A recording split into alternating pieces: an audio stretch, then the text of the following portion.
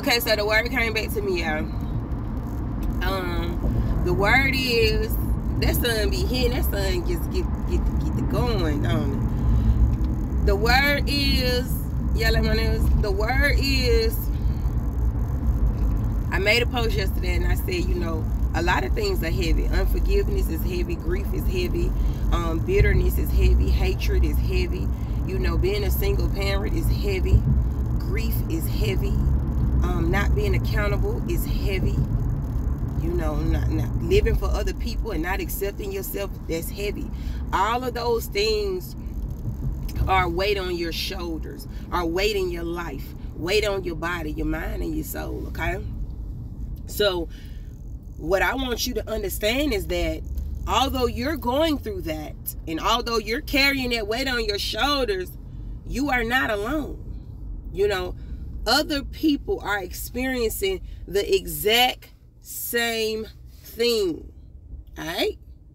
So the fact that they're experiencing this, you know, your problems are not bigger than theirs. Your shoulders are not more heavier than theirs. You know, you ain't got more weight than them. Because when you look at your situation, you look at somebody else's situation, it's always somebody worse off than both of y'all. Okay. So what I want y'all to understand is the fact that you're not alone in those situations, the fact that everybody is carrying the weight of the world on their shoulders. I want you to be kind and give people grace and give yourself grace.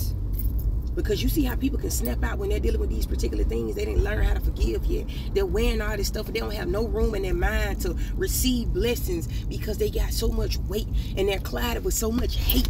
And they got so many things on their shoulder that they haven't released or learned to release or even want to release yet. So you got to be graceful with people and give people grace. Okay? Because I'm pretty sure you expect people to give you the same grace. Think about that and give yourself grace because it's still a process to forgive. It's still a process to grieve and it's still a process. You know, getting divorced and, and, and going through it and now you was a happy family. Now you don't have that family structure. You figuring everything out. It's a process. Everything in life requires a process. And we don't trust our processes. We try to skip through and, and, and run before we can walk you know and that's when we miss the real message and that's when we we we miss out on building our mindset and building our discipline and building so many things that we need because we trying to skip the process but you can't skip the processes in life okay? Everything got a process. Even you you got to trust it. Priceless Motivation. Give people grace. You're not alone. It's heavy out here baby. It's hard